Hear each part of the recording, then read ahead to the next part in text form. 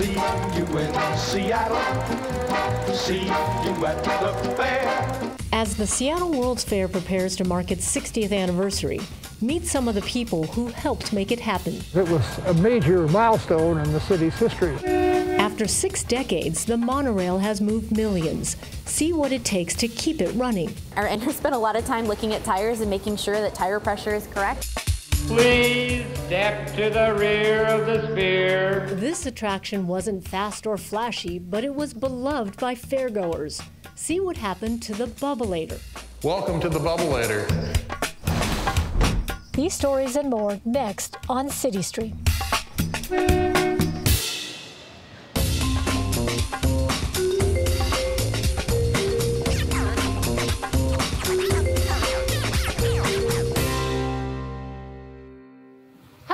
Hello, I'm Mona Lee Locke. CityStream celebrates a special anniversary of the Seattle World's Fair from the Space Needle.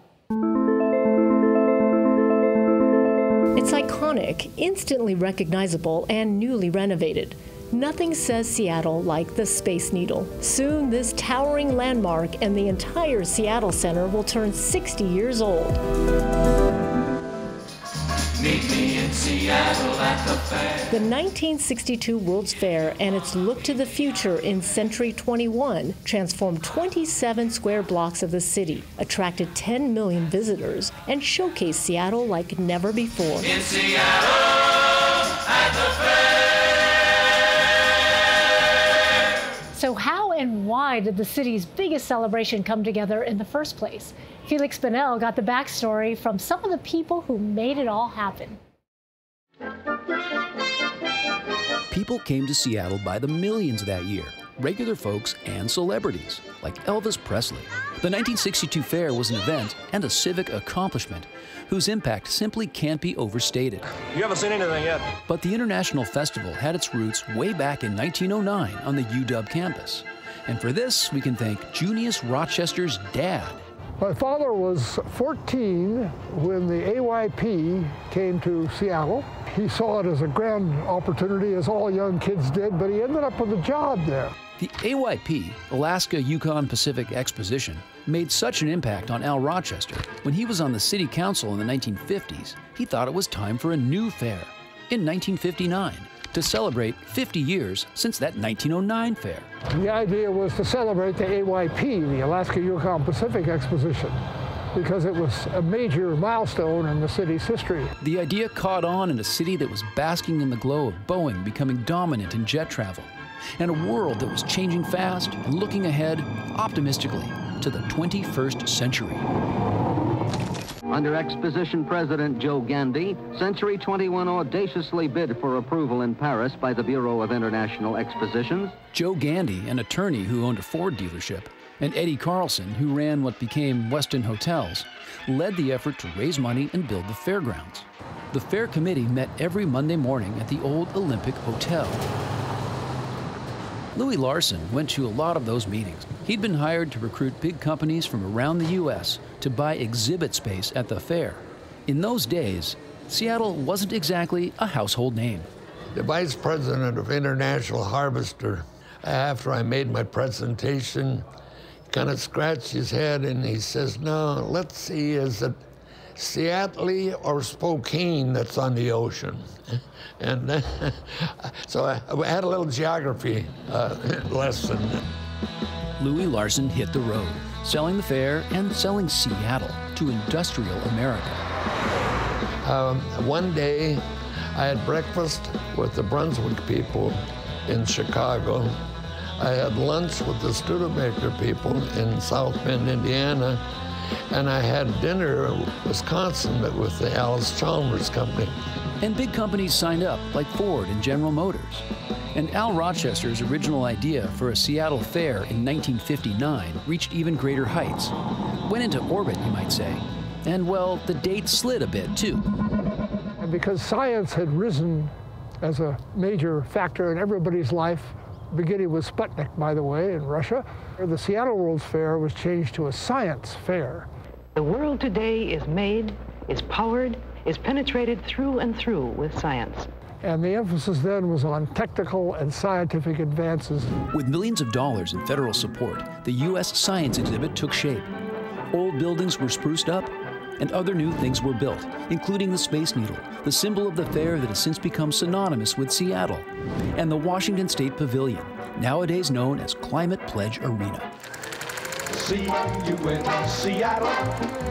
See you at the fair. The fair opened on April 21, 1962. Some naysayers had dismissed the whole operation as the Mercer Street Carnival, but it was so much more than junk food and rides. Though the monorail, which still connects downtown with the fairgrounds, is actually a pretty fun ride, too. Yeah, well, we thought about it as a carnival ride, but I don't think anyone thinks about it that way anymore. Dave Eubanks joined the staff as the fair was getting underway. Well, there's a lot to do, and we were here, I swear, you know, 16, 17, 20 hours a day, and enjoying every bit of it.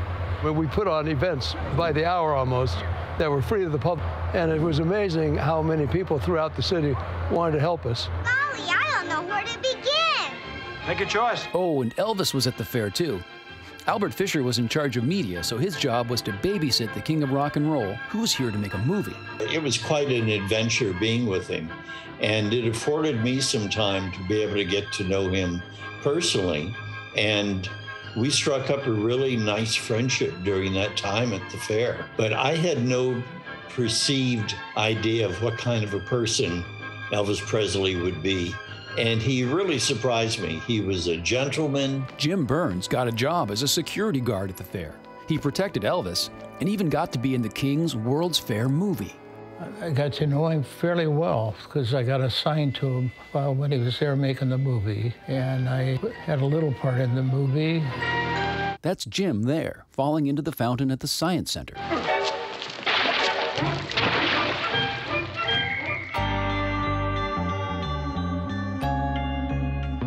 Fair closed on October 21, 1962. By all measures, it was a big success. I, I, I think uh, whether the people realize it or not, it was uh, it was pretty close to perfect. And once Elvis and about 10 million other people had left the Space Needle and other buildings of the World's Fair, the fairgrounds converted nicely into Seattle Center, which is still a beloved civic treasure 60 years later.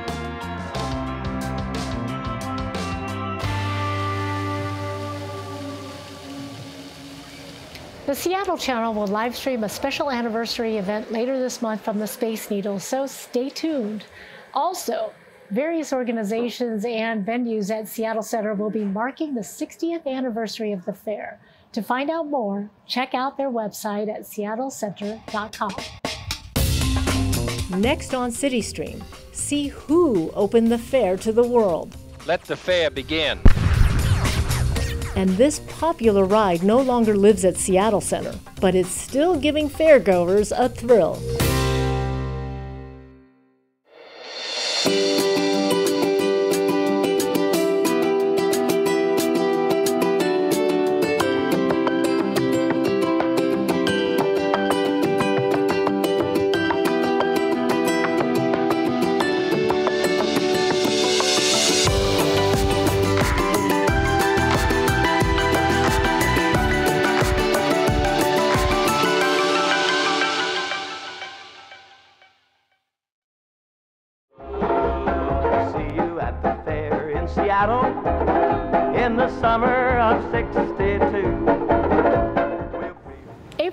1st, 1962 was like any other day, unless you lived in Seattle.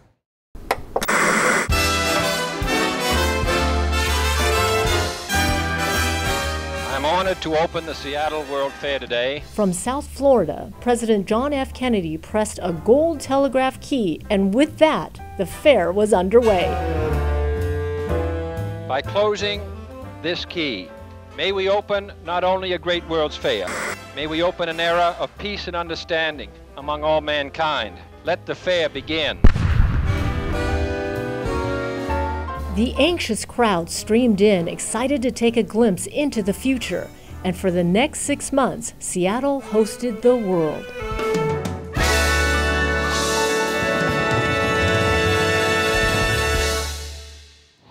Organizers faced a tremendous challenge moving the masses around town. One of the star attractions of the World's Fair was also extremely functional. The monorail transported 8 million guests during the fair's six-month run. 60 years later, it's still going strong. Producer Randy Eng shows what it takes to keep the monorail moving. It, it definitely has challenges to maintain a legacy system. These trains are 60 years old. Each train has over a million miles on it. 1,365,048 uh, miles. So they've traveled a long way. They've carried millions and millions of people. Every day, our technicians work through this checklist, just making sure that the train is safe and ready to go. And then they do more thorough inspections of different components of the train based on the frequencies that are outlined in our maintenance plan daily, weekly, monthly, quarterly, and annually to make sure that the train is safe for operation.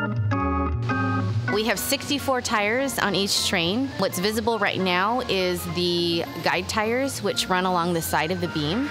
And then beyond that, you'll see on the top side of the beam, there are two large load tires. They ride on the top of the beam, just like a car uh, drives on the road. Our engineers spend a lot of time looking at tires and making sure that tire pressure is correct. So right over here, we're looking at the package. So this is like the equivalent of the transmission to your vehicle. Just like your maybe manual vehicle has different gears, our train has different gears or different points as we call them. So we operate in first point and then you go a little faster and you go into second point and then you go into third point. A lot of the design intent from 1962 is still absolutely reflected here but some of the components like the package have been upgraded over time, um, especially as new technology becomes available.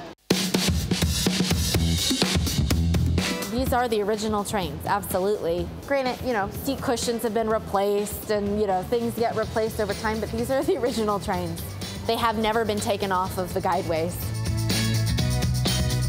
At Seattle Monorail Services, we have about 30 employees that work here, and um, our folks come from all over the country, all over the world, honestly. We have folks that have come from Ethiopia, from Sudan, from the Philippines, um, as well as people local like me that grew up here. It's a family feeling. It's funny, this is my husband talking right now. It's a family affair. There's kind of a saying, um, we don't work at the monorail, we work for the monorail. And I think our staff has really embraced that. We recognize that it takes a lot of hard work to keep the system running. And we're just so proud that the system is celebrating 60 years. It's a huge milestone for the system, and we're excited to see it continue to run. Organizers faced a tremendous challenge moving the masses around the fair. The Sky Ride was a popular people mover that gives visitors a bird's eye view. And just like the monorail, it's still operating. But as producer Pete Chasm explains, the old Sky Ride is now doing the Puyallup.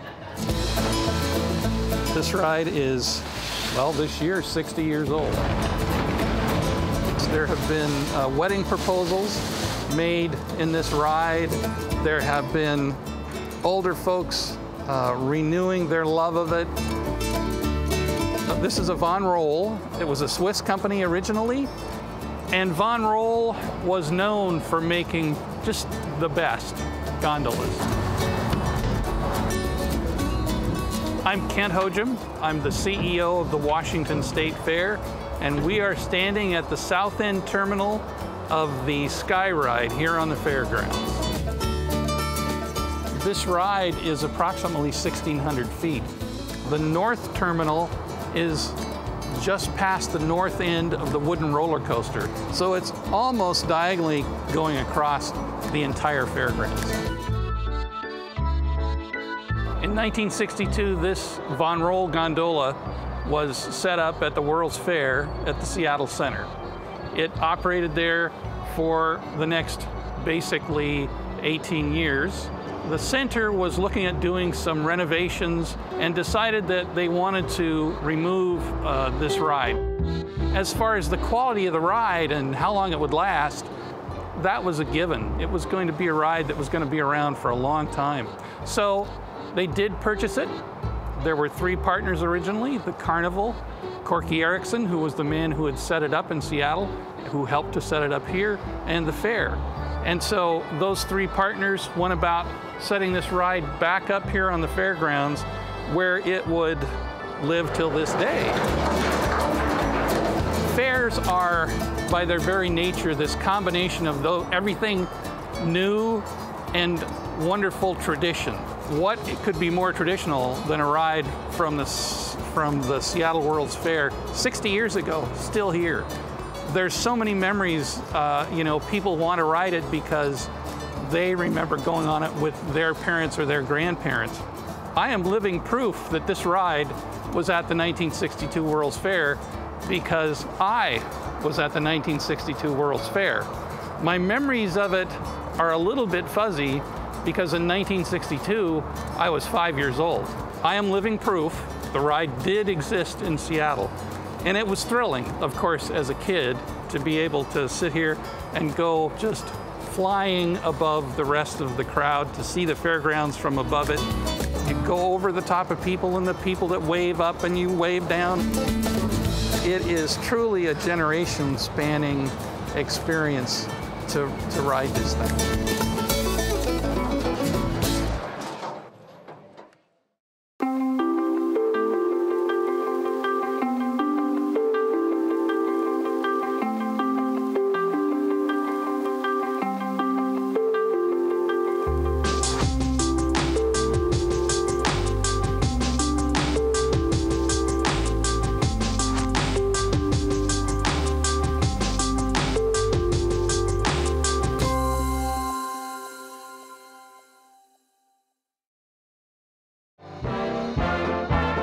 People's feet.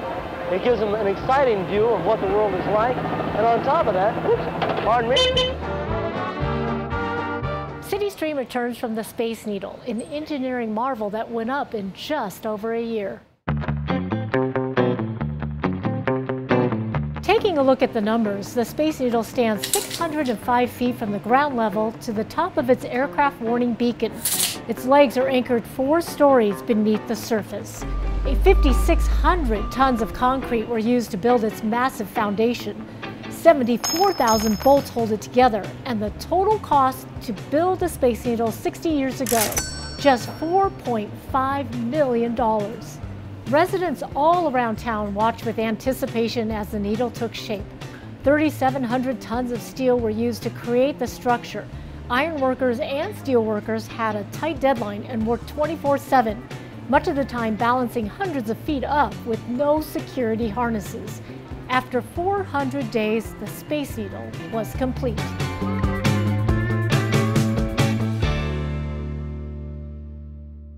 Joining us now is Randy Cote, Director of Marketing and Business Development for the Space Needle. Thanks for being with us. Of course. So we recently just talked about the original construction of the Space Needle. Tell me a little bit about the changes. Absolutely. We call it the Century Project, so we're standing on part of it now. We call this the Loop. It's the world's first and only revolving glass floor.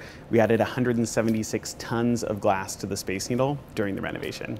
Wow. So when a when someone comes to visit the Space Needle, what are they going to experience? Yeah, they're going to see two levels of the view. So with that glass we added, it's about 30% more to see of Seattle than you could before. So outside on the outdoor deck, you feel like you're floating over Seattle. And of course, down here on the glass floor, you can see the Space Needle down below, the city out, and you get to slowly rotate around and, and see everything. Yeah, having been in Seattle a long time, I mean, the, this new Space Needle is very different from the old one. Lots of glass. Now tell me a little bit more about these skyriser benches up on top. Yeah, so on the outdoor deck, there's 48 of these one ton glass panels that tilt over the view. And in between each of those is one of these skyriser benches. So when you sit on it, you actually slide back and you're kind of hanging over Seattle. Uh, it's pretty freaky. People, um, we thought before starting the renovation, people would be more thrilled by the glass floor, but the skyriser benches and that tilting glass really gets people when they visit. So you're saying it's safe for families to come. They're going to be safe. Of course, yeah. So like the glass floor we're standing on, for example, one square inch can hold 1,500 pounds. So it's very strong glass. It's as strong as concrete, basically. And you talked about the floor, the sensory. This is quite something. Originally, you could only see it if you were dining in the restaurant here. Correct. So this level that we're on was the world's first freestanding revolving restaurant when we opened in 1962. And so now, since 2018, we've had the world's first rotating glass floor, and now all of our guests get to come see it. So we start your visit up top, you come down, finish here with this revolving glass floor experience. Some folks come to this level to visit the Loop Lounge, our new cocktail experience. So something for everyone down here on the glass floor. And when you renovated, you reopened Space Needle in 2018. 18. Yeah, August of 2018. And then COVID hit. Yeah. So, so what has that what has the journey been like back? Yeah, so right 2019 was our first full year of operations before the pandemic hit. So we closed for 4 months, reopened in J- July of 2020, and it's kind of been a, a reopening of sorts, right? People are, are getting a chance to come out, see it for the first time. The Loop Lounge is a new experience since we reopened since COVID. So yeah, it is kind of a, another fresh start coming off of an already sort of refreshment in that renovation from August of 2018.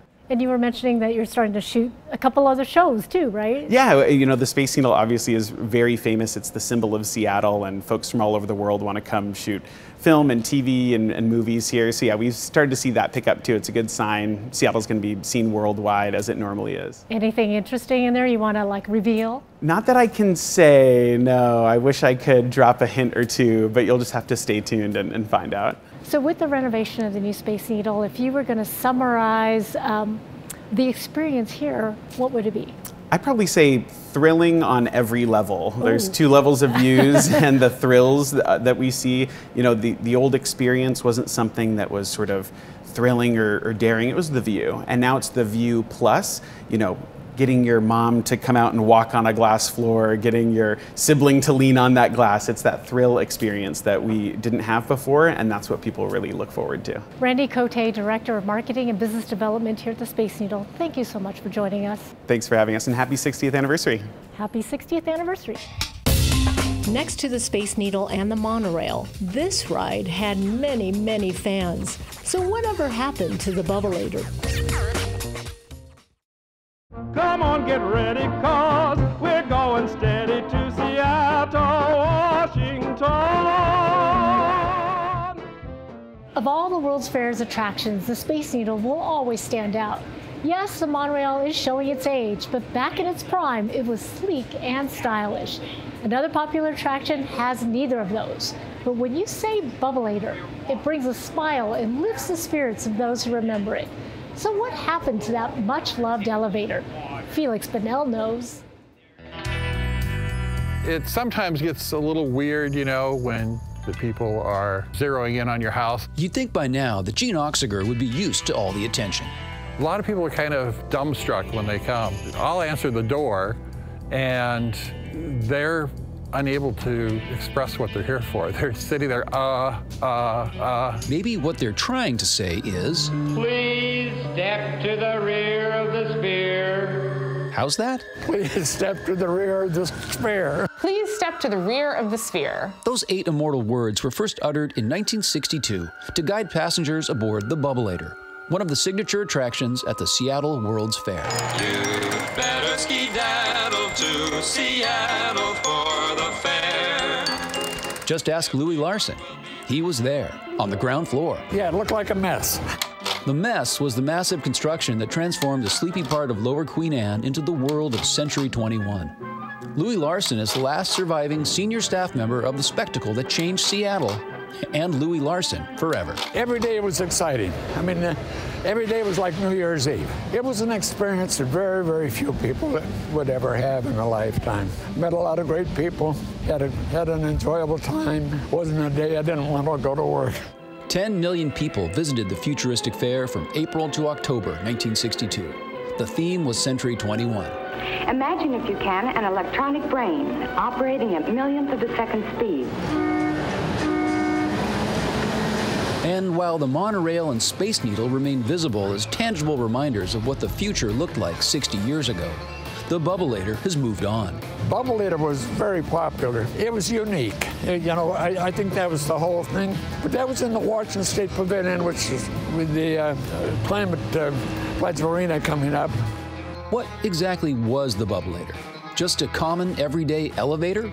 It is a bubble-shaped elevator that was in the uh, Washington State Coliseum, which we now know as Climate Pledge Arena. And it was a, a bubble-shaped elevator that people would go into, and they would go to the second floor to experience a futuristic exhibit. Clara Berg is curator of collections at MOHAI, Seattle's Museum of History and Industry, home since 2005 to the Bubbleator Operator's Chair. So we were able to purchase it uh, with some help from the community and have it come to MOHAI. And it had a few modifications. There was some orange shag carpet on it, and there are things that have been added. So uh, we tried to kind of take it back to as close as we, what we think uh, it was from the time. After the fair, the Bubbleator was moved across the fairgrounds to what's now called the Armory, where it was used for nearly 20 years as, well, a common everyday elevator. In 1980, as part of a renovation project, the Bubbleator went away. Which brings us back to where we started. Please step to the rear of the sphere. Please step to the rear of the sphere.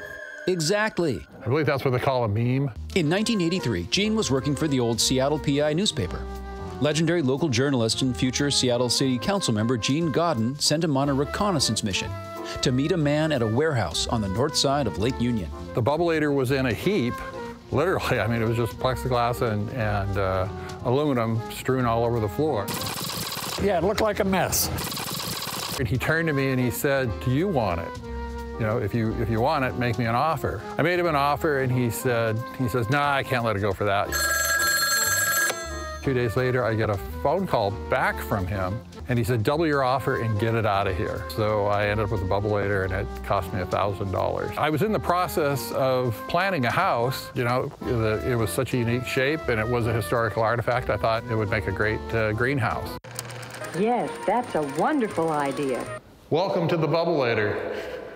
It's been cleaned out now, but this was a greenhouse, and uh, hopefully soon it will be hosting a lot of plants again. Why do people still seek out the bubble Bubbleator decades after it left town? It wasn't a common uh, everyday elevator. People fell in love with it. And it also, I think, was of the size that people could wrap their arms around the idea of, you know, this is something that not too large. We look at the Space Needle and everything, you're not going to be able to embrace the Space Needle the way you can something smaller like this. As for the future of the Bubbleator, Gene Oxiger says that not too long ago, Seattle Center officials asked him to consider donating it back. The main idea would be is to, you know, simply be able to preserve it, but also taking care of the fact that it is going to leave a large hole in the house. But if that large hole at Gene's house could be fixed, it does open up at least one intriguing possibility at Seattle Center. You think they should bring the bubbleator back to the climate No, arena? I hope not. I, I, I think what they're doing is fantastic. There's only room for 100. Or should I just do it without the only Just room? do the rear, rear to the okay. Sphere part, oh. please. Step to the rear of the sphere. You gotta say please, though. Oh. Please step to the rear of the sphere.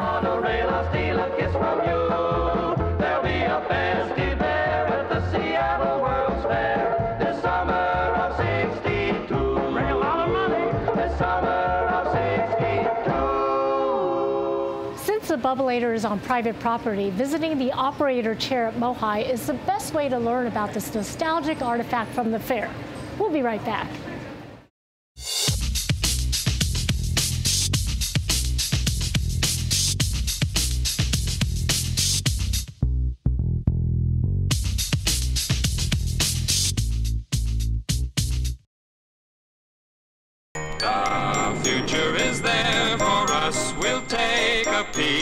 See a glimpse of the next century, revealing space age mystery.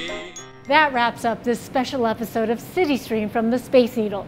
The 60th anniversary of the Seattle World's Fair is just days away. To learn how the Seattle Center plans to celebrate, go to seattlecenter.com. I'm Mona Lee Locke. Thank you for watching. Up your trouble for six wonderful months. Pack up your family and head for the fair. It's the big thrilling adventure of a lifetime. Opening April 21st to October 21st in Seattle.